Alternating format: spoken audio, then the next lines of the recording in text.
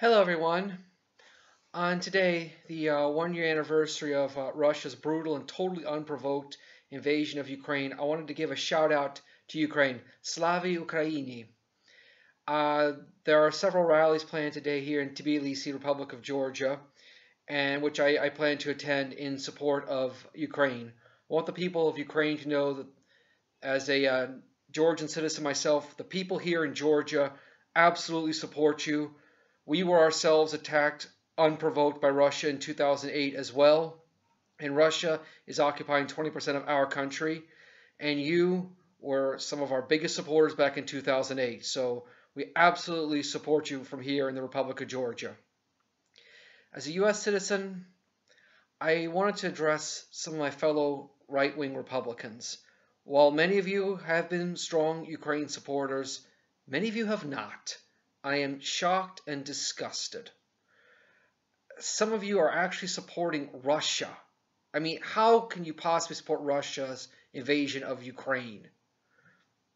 I mean, you state that Russia, in many ways, has become more of a bastion of traditional Western values, i.e., Christianity, marriage and the family, national pride, is anti woke.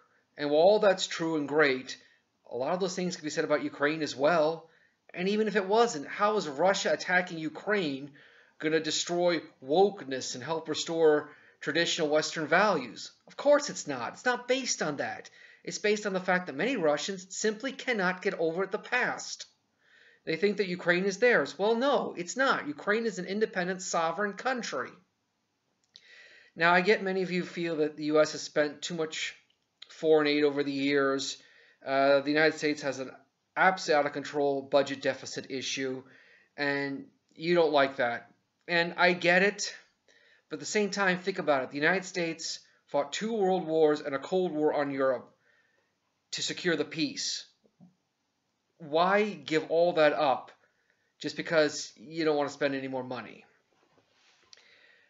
And many of you seem to think that I just give Ukraine up to Russia. Well, that was the thinking that led to World War II. Just give Czechoslovakia up to uh, the Nazis and we'll be done. Doesn't work that way.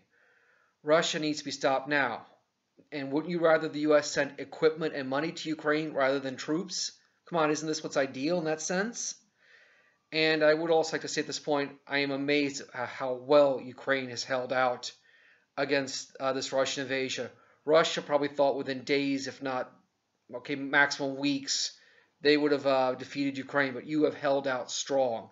That is fabulous.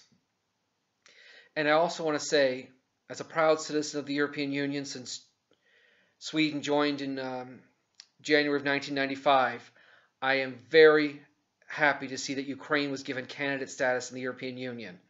As a Georgian citizen, however, come on, we deserve it too. Give Georgia candidate status as well.